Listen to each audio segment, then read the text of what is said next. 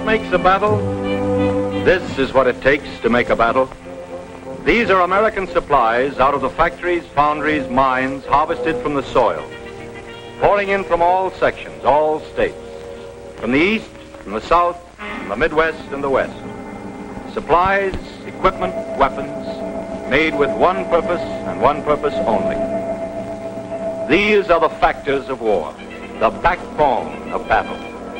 Take them away, destroy them, diminish them in number or quality, fail to replace them in time, and first the soldier and then the nation faces defeat, destruction, and death.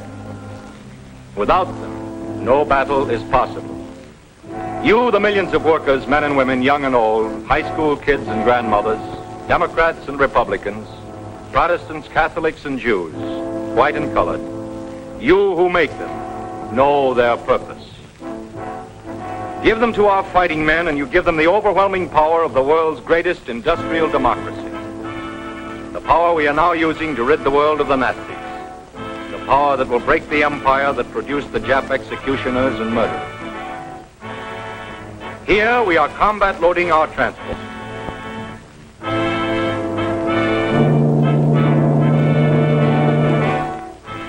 American sea power, probably the greatest naval force ever assembled, heads for our first land penetration of Japanese territory, the Marshall Islands, center gate in Jap Fortress Pacific.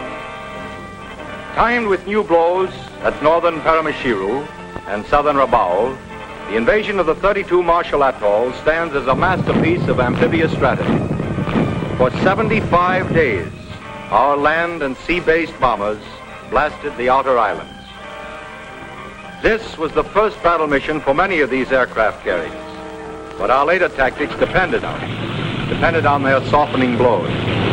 This was the first round in a finished fight.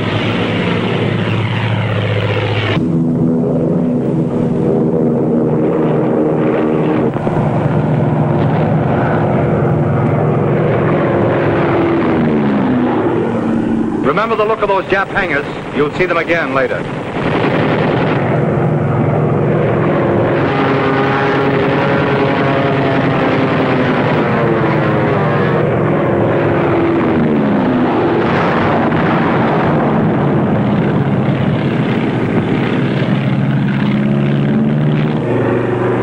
The Japs sent up planes trying to drive us off. But the attempt ended in spectacular suicide like this.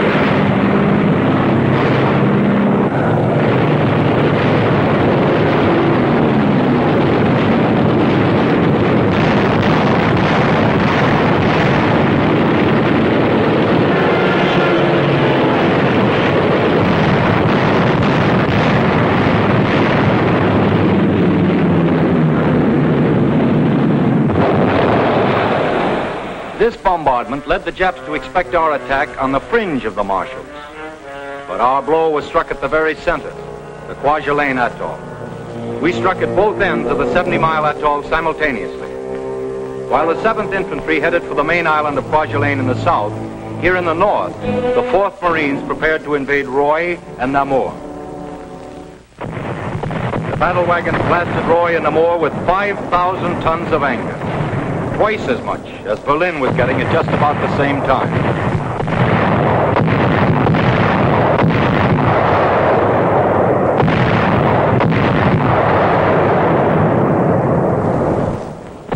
The men climb down to the assault craft and wait for the signal for H hour.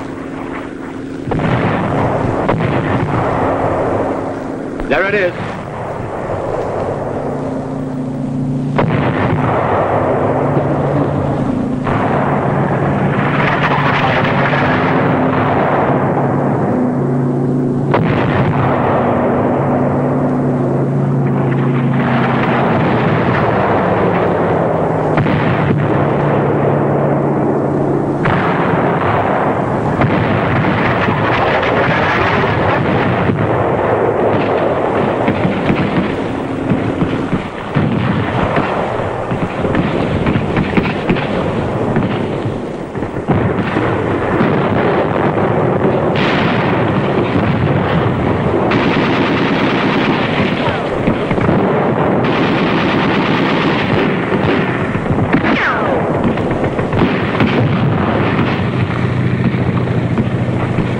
Communication post, coordinating the battles on land, sea, and air.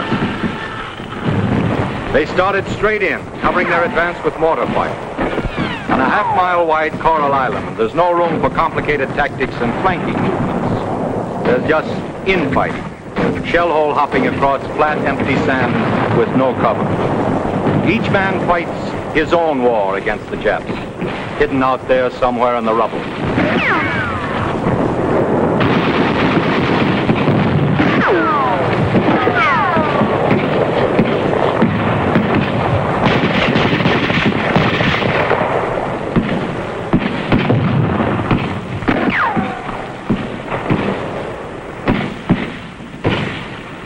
From the start, the jig was obviously up for the Japs on Roi. Germans would have quit right away, but Japs are Japs. They crept behind wreckage and took pot shots.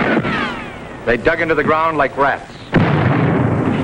It was a matter of finding out where they were hiding and blowing them apart with bangalores and grenades. There they go.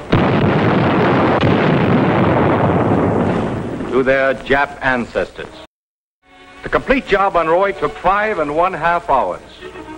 The stuff you see here and the stuff you're going to see was brand new, secretly assembled in depots for this particular battle. It was new because the older stuff gets used up, burnt up, or worn out. Because the faster we move, the more stuff we need. Each success leads to another and larger battle which cannot be won, cannot even be launched, until the mountains of equipment earmarked for it are actually at dockside. While the Marines were organizing their supply dumps here at Roi and Namur, the 7th Infantry were riding in for the kill 50 miles south at Kwajalein. Kwajalein was a bigger island than Roi or Namur, more powerfully defended. It was harder for our planes and naval guns to level it completely, easier for the Japs to hang on. Before the direct assault, our tactics were to flank Kwajalein. We landed artillery on the two small islands on either side and blasted at close range. We brought artillery shells ashore.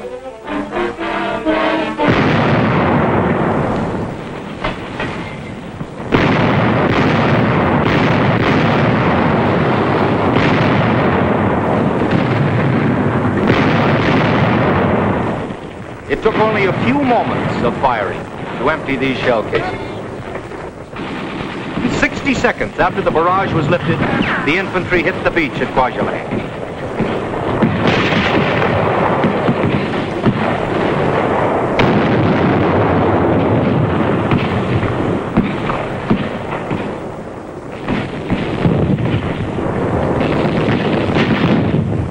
One more Jap pillbox.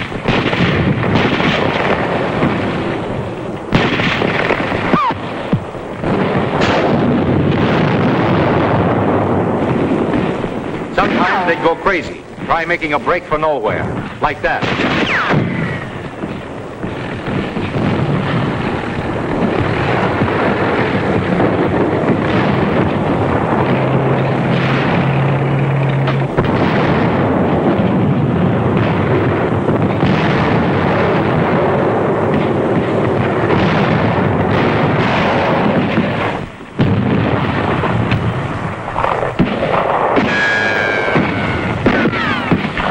Was the same kind of dirty business, smoking and burning and blasting them out dead or alive. Only it was tougher. Out of 10,000 Japs, only 264 surrendered. When they did, they came out dazed and shaking.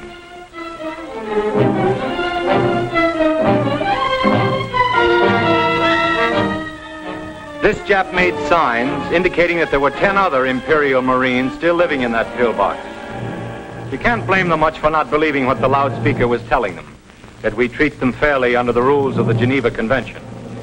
The guy was nuts enough to believe that Japan was going to dictate peace in the White House. You'd hardly expect him to believe the truth when he heard it, or even when he saw it, as we fixed up the wounded. These sullen human beings were in terror that they'd receive the same fate they had given our boys at Bataan. Instead, we gave them cigarettes, food, and water. Soft, huh? The record shows who's soft. We just happen to be civilized. That's the difference. We told you to remember those hangars. This is what it took to make a battle. Burned, twisted, broken equipment. Stuff made for battle and destroyed in battle. You've got to be able to lose it. Lose it all. Make it all again. Keep on making it, no matter what. For that last battle. That final battle. Jap pillboxes, five feet of concrete. It took 16 inches of American firepower to let the air in. Anti-aircraft guns, gun mounts, shore guns. Radio tower that flashed a last message to Tokyo that came too late. And this also is what it took to make a battle.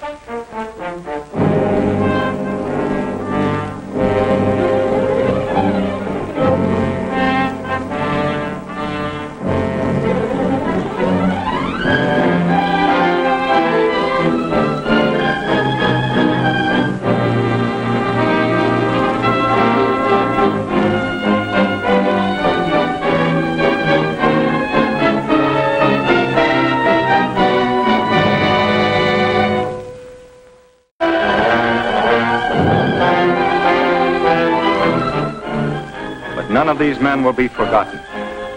This American will not go to his grave on Kwajalein unidentified. He'll be remembered, too.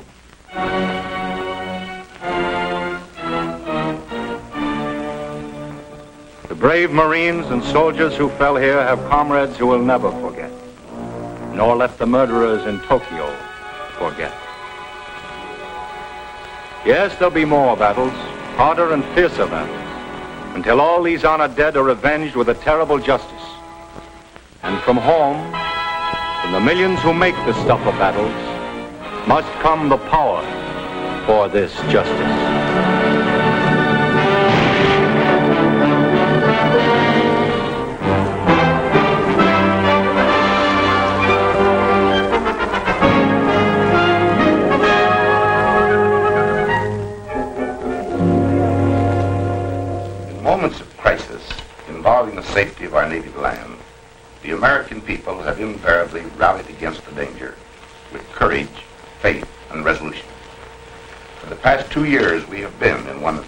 Moments of crisis, perhaps the greatest in our history. On the battlefield and on the home front, men and women are daily making great sacrifices so that freedom and our way of life may be preserved. There is now in progress the fifth war loan drive to raise money so as to ensure that this conflict will be brought to the speediest possible conclusion and with the least loss in lives. The complete success in that drive will meet the acclaim of the forces in the field and will be renewed proof that all Americans are one solid phalanx of determination in this great war. All of us profoundly trust soon the world may be restored to a just peace. Until we can, with God's help, bring about that happy realization of our dreams, each of us must seek incessantly for ways and means by which the value of our services to our country may be enhanced. Right now, we can do so by buying bonds. Let's make this particular victory a quick and decisive one.